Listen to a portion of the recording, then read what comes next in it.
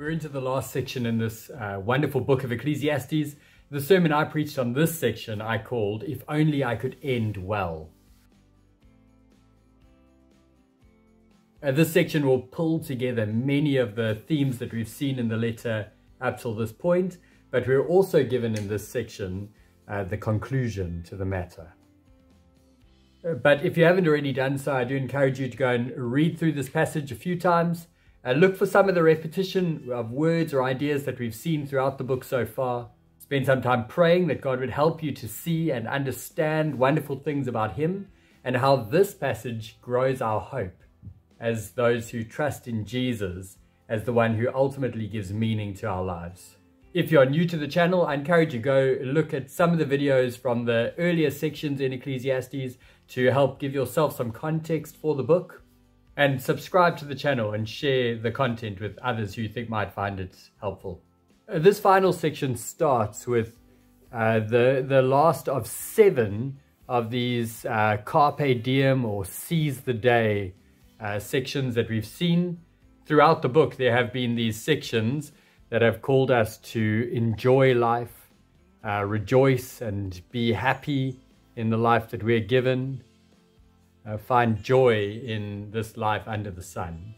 And so we'll dig into that in a moment, but just to see some of the repetition. So again, this word translated here as meaningless. Uh, just remember the the word hevel in the Hebrew uh, which means enigmatic. So it's more nuanced than just meaningless. It's just showing that life here under the sun is hard to grab hold of, hard to pin down. Now, Mr. Teacher started in chapter one by saying meaningless, meaningless, everything is meaningless. And he ends with the same idea. It's enigmatic. Life here under the sun is hard to pin down. We can't always uh, make sense of it a few other things that we see repeated here. We've got uh, remember, remember, remember. In the first and last sections, we've got uh, this idea that judgment is coming.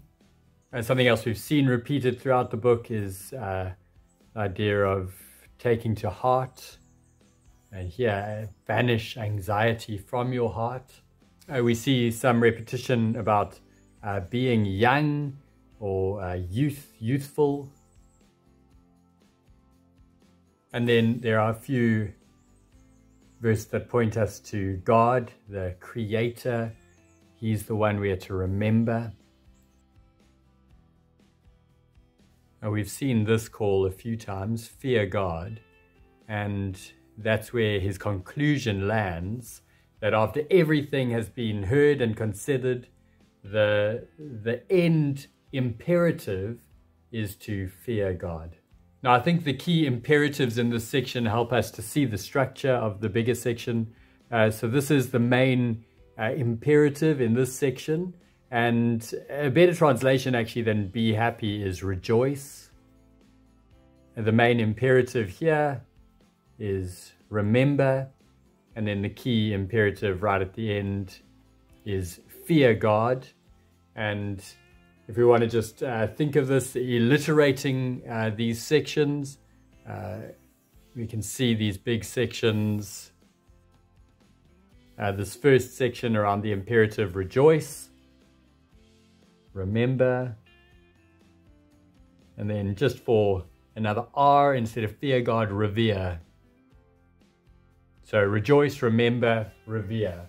And those who truly revere God, because this is the conclusion to the matter, uh, those who truly revere God will remember him and rejoice in both him and the life that he gives us under the sun, enjoying all the years that they may live. And just some other repetition we see. So we've got uh, the teacher repeated here. Uh, we met him at the beginning of the book. So the Hebrew word kohelet uh, so we've got the teacher, and he's been imparting wisdom to us. And so we also see this a little bit of repetition here of something we've seen throughout the book of wisdom, being wise, uh, having knowledge. He also speaks of uh, people going to their eternal home. He speaks of different kind of days. So he speaks of days of darkness and days of youth. Again, in the days of your youth, before the days of trouble come. In this, when the keepers, it's in the day when the keepers of the house tremble. And then there's this repetition of before, before, before. There's something we need to do before the days of trouble come, before uh, the sun and the light and the moon and the stars grow dark, before the pitcher is shattered at the spring. Now, just as he's pulling all the strings of the book together, we've seen throughout the book that Mr. Teacher has tried to find meaning. He said, What's the point of life? And he's, he's looked at uh, work and money and pleasure and uh, so many other things to try and find meaning in life under the sun. And here in this section, he speaks to the young. Now, I think here he's not specifically talking to uh, teenagers or young adults. It's actually everyone who is before these days that we'll look at in a moment where where everything is deteriorating. So the, the last days of very old age. And he's saying before that comes, get your perspective in life right. And so the key command in this opening section, the command to rejoice, be happy, the imperative, you who are young, rejoice while you're young. Let your heart give you joy in the days of your youth. It's a command from God to actually enjoy the light of life before the days of darkness come. So dark days are going to be hard, but he's saying get the foundation of your life right as young as possible because it's not going to get easier to rejoice and find joy in life. It's actually only going to get harder. But he does follow this up by saying, follow the ways of your heart but know that for all these things, God will bring you to judgment. So, what he's saying is enjoy life God's way. Don't just uh, seek joy, but seek joy in a way that will bring glory to God. So, you're meant to enjoy life His way. And then he gives a number of other uh, imperatives under this big imperative to rejoice. He also says, uh, banish anxiety from your heart, cast off the troubles of your body. So he's saying, get it, get rid of them. Uh, don't dwell too long on the difficulties of life. And what is the best way that's going to help us to rejoice? Well, that is what we look at in the next sections remember and revere. If we get these things right, it will help us to really rejoice in this life under the sun. And so he starts chapter 12 with this big imperative remember. Remember what? Remember who? Remember your Creator. And this call to remember your Creator is before the days of trouble come. So again, he's saying get the foundations of your life right before life gets hard.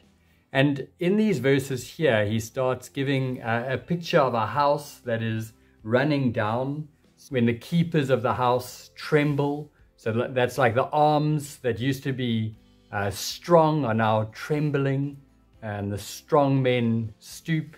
So that's uh, his legs they're no longer strong enough to, to carry him easily. Uh, when the grinders cease because they're few, uh, so that's a picture of teeth that are falling out. They, they can't grind food anymore. Uh, those looking through the windows are dim, so his eyes are now growing dim, and the doors to the street are closed, and the sound of grinding fades, uh, so his ears aren't hearing as well as they used to. And then when the people are afraid of heights and dangers in the streets, he knows now that a fall could kill him. Uh, the streets of Jerusalem uh, were steep and many things that he could trip on. And for an old person, uh, he knows that a, a, trip could be an absolute disaster, so he rather stays at home. And then when the old almond tree blossoms, so this is the white hair of old age, almond blossoms are white, and then the grasshopper dragging himself along, um, moving with real difficulty. So think of people in our world, old people uh, on their Zimmer frames, struggling. Desire is no longer stirred, so his appetite's gone. And eventually, they go to their eternal home. So he's now at the funeral parlor and mourners going about the streets. So this is a description of very old age He's saying, remember him before the silver cord is severed. Eh, this is probably a picture of, of a lamp hanging by a cord which is severed and the light drops and goes dark. There's this repetition of a broken, shattered, broken, and the dust returns to the ground from which it came. So you've got this idea of uh, Genesis 3, uh, the curse, from dust you came and to dust you will return. And the Spirit of God, the Spirit returns to God who gave it. So it's very clearly a picture of old age leading to death. And the big point is remember your Creator before these days. It's not going to get easier to remember your Creator. So this main imperative is get the foundations of your life in place as early as possible because it's not going to get easier. And the key way to actually get those foundations in, in place is given right at the end of the book fear God and keep his commandments. If you correctly revere God, then that will impact the way that you live life under the sun. And so the big point of Ecclesiastes as a whole is causing us, is saying, don't just live life under the sun. Actually, fear God. Lift your eyes to the one who made the sun. The tragedy, though, is that this is the problem that we see throughout the Old Testament, is that God's people couldn't rightly fear him or keep his commands. And so it's very good news for us that uh, Ecclesiastes uh, 12 is not the end of the Bible, but actually we can look ahead to the God who made the sun, who then came in the person of Jesus to live under the sun, and Jesus also called us to remember. In Matthew 28, uh, right at the end of Matthew, he says, uh, Remember that I'm with you always to the very ends of the age. Or in the Lord's Supper, Jesus said, Remember me. Do this in remembrance of me. And so we don't only get to remember our Creator, we get to remember our Creator who became our Savior. And as we revere Him, fear him, stand in awe of him. As we remember Jesus, we will indeed rejoice in the life that he has won for us. We'll rejoice in him, and he will cause us to live with true joy, uh, being happy in all the days that he blesses us with. And the big call of this passage is to get this right as early as possible because it's not going to get any easier as you get older. And so, as you reflect on this further and as you seek to teach it to others, the big thing that we want people to see from this book is that we should rejoice in life, but we'll only get this right if we get our foundations right, if we are revering God, holding Him in such high regard that He impacts the way that we live under the sun. And we need to remember Him and rejoice in Him all the days of this life until we go to our eternal home, the home that Jesus has prepared for us. Jesus said to the thief on the cross, Truly I tell you, today you will be with me in paradise. Our eternal home is with the God who made the sun and then came to live under the sun so that he could save us, so that one day we could be with him forever. And so here is the conclusion of the matter fear God and keep his commandments. The way that we do that is to revere Jesus as we remember what he has done for us and rejoice in the life that he has won for us. He saved us from this judgment so that we could be with him forever. And so this book of Ecclesiastes is meant to encourage us. Yes, life is enigmatic. We can't always make sense of it. But in this enigmatic life under the sun, we can look to the one who made the sun. We can remember our Creator. And as Christians, we can remember our Creator who became our Savior. And we want to rejoice in Him as we live these days in a way that will bring glory to Him, fearing Him and keeping His commands, all for His glory. Well, God bless as you dig in further.